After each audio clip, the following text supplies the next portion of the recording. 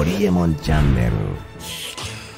エモンチャンネルキーになるのはデジタル人民元とビットコインのようなうん。クリプト、はい。この部分が多分すごくキーポイントになってくると思ってるんです。ねデジタル人民元デジタル RMB とはい。クリプトは完全に真っ向対立するわけです、はいでクリプトを防ぐことはできない、なぜかっていうとクリプトというのはそれをちゃんと念頭に置いて作られたシステムだから、まあ、つまり要は吊るし上げる人がいないから、はいはいはい。主権国家は叩けないわけですよ、はい。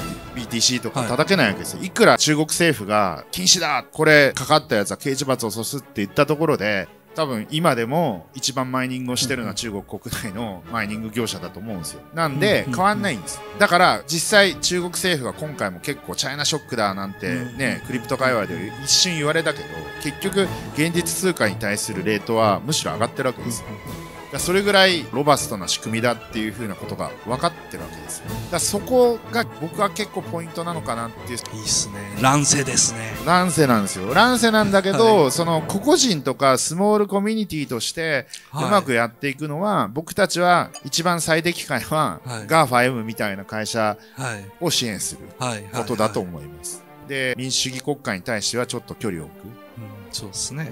うん。かつての宗教と同じですよね。そうそのフランス革命の時にみんながキリスト教から距離を置いて民主主義を選んだように、うん。僕らはおそらく民主主義からやや距離を置いてうん。で自分がファンになれる独裁国家に票を入れる。そうそうですね。でそれはつまり民主主義的な力で成り立っているつまり人気投票で成り立っている文藝春秋のようなものから距離を置いて、うん。僕やホリエモンのような独裁的な言知をする人間にやや投資するっていうことですね。知的投資をするっていう。